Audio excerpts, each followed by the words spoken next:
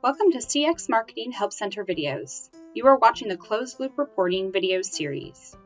In this video, we will learn how to configure campaign response rules in Oracle Eloqua. Just to recap, for this closed loop reporting video series, we are using a hypothetical company called Supremo Global that makes maintenance prediction software to help companies proactively service equipment. Supremo's marketing expert, Sam, is using closed loop reporting for his marketing campaigns. In the previous video, we uploaded the external assets and activities for Sam's campaigns to Oracle Eloqua. Now the next step is to create campaign response rules and map them to the campaign activities.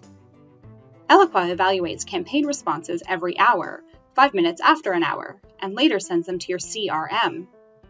There are four key steps needed to configure campaign responses. Configuring an app that responses will get sent to, creating a program to send responses to your app, creating the campaign response rules, and creating a campaign. For the first step, log in to Oracle Eloqua and navigate to Settings. Under Platform Extensions, click Apps. For this video, we will be using the Salesforce app, but if you use another app, the entire process will still be the same. In the App Cloud catalog, select Salesforce Integration. Click Configure from the app configuration window, click Campaigns and then Response Actions. Then click Add Response Action. Configure each field for your app, such as the campaign member ID and status, contact ID, and campaign ID. For step number two, you need to create a program to send responses to your app. Here is an example of a program.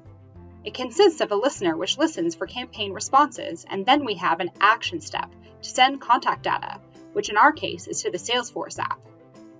To create campaign response rules, click Response Rules under Settings.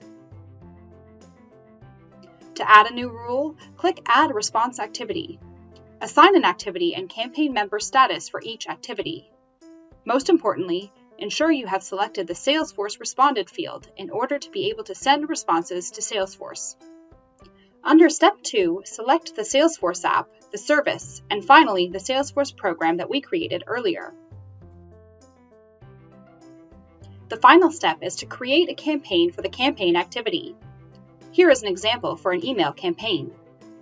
Make sure the Salesforce campaign ID is associated with this Eloqua campaign. The resulting responses from this campaign will then be triggered and reported on the program canvas. This concludes the steps for configuring campaign response rules. Watch the previous videos if you missed them, and stay tuned for the rest of this video series where we will learn how to configure each step in the CLR process. Thanks for watching!